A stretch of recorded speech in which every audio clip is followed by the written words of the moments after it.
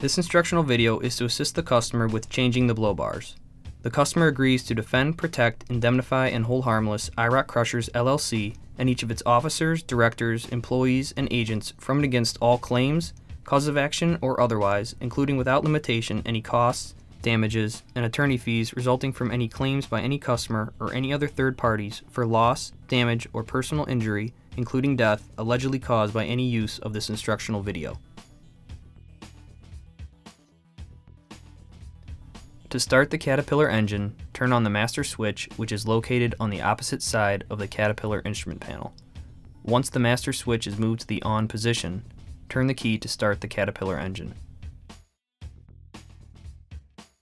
By using the hydraulic control lever, open the crusher lid.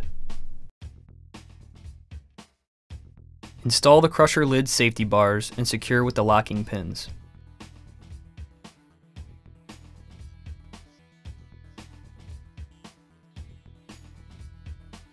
Turn off the Caterpillar engine and remove the key. Next, turn off the master switch and lock out, tag out.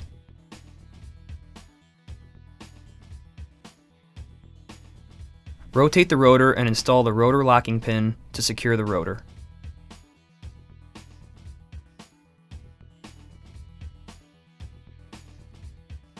Remove the bolts that hold the four rotor shoes in place.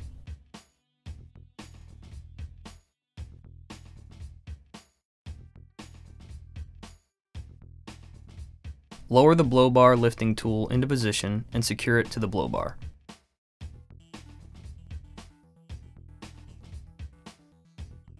To remove the wedges, begin by detaching the bolt on the top wedge. Next, use a hammer to knock down the wedge. This loosens the blow bar from the rotor. Finally, remove the wedges.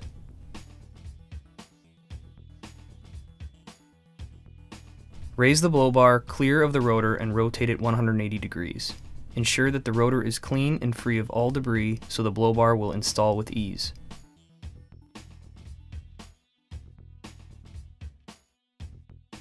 Lower the blow bar into position. Install the wedges and tighten the locking nuts to secure the blow bar. Remove the blow bar lifting tool.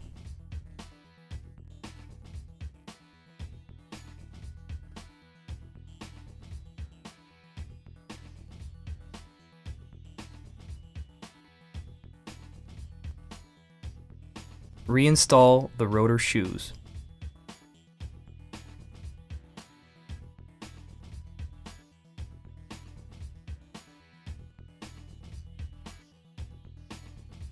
Turn the master switch on.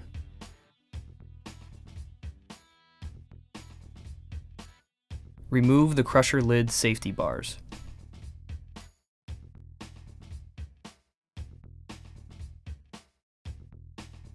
Start the Caterpillar engine. By using the hydraulic control lever, close the crusher lid. Turn off the Caterpillar engine and remove the key.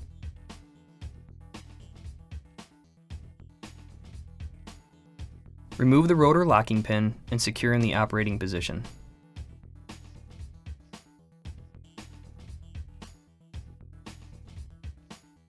It is important at this time to check the clearance between the new blow bar and the curtain. You'll have to check and adjust the distance as needed.